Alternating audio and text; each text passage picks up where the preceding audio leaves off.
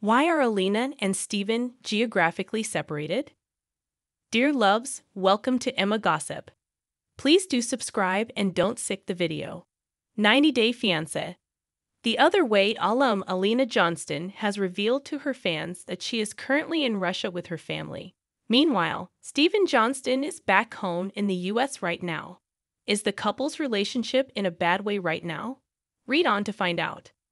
Former 90 Day Fiancé star Alina Johnston recently hosted a Q&A on Instagram where she revealed that she is in Russia right now. Meanwhile, her husband, Steven, is currently in the US. Fans will recall Alina and Steven's appearance in 90 Day Fiancé. The other way, where following a cheating scandal, the couple married. While the previous time together was rocky, the couple went on to settle in Antalya, Turkey, which planning a move to the US meanwhile. It seems that problems have delayed the TLC reality star's plans to live in the US. In fact, during an Instagram Q&A, Alina was asked where she is living right now. Alina responded, writing, Right now I'm living in Russia. Following this, the Russian beauty revealed that Steven isn't with her right now. In fact, she said they are geographically separated.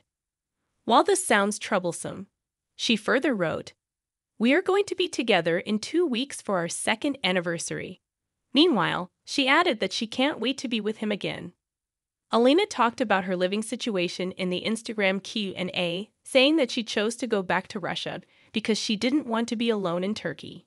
She also stated that her ultimate objective is to live in the United States with Steven, but that their plans are currently on hold due to her lack of a visa in the meantime, she also disclosed that she is not currently making any money. The first time Steven and Alina appeared on 90 Day Fiancé, fans of The Other Way were skeptical that their relationship could last.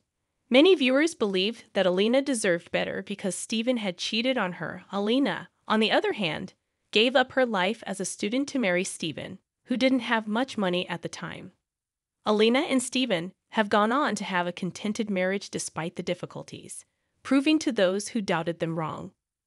We look forward to the day when Steven Johnston and Alina Johnston will be able to fulfill Alina's aspiration of moving to the United States.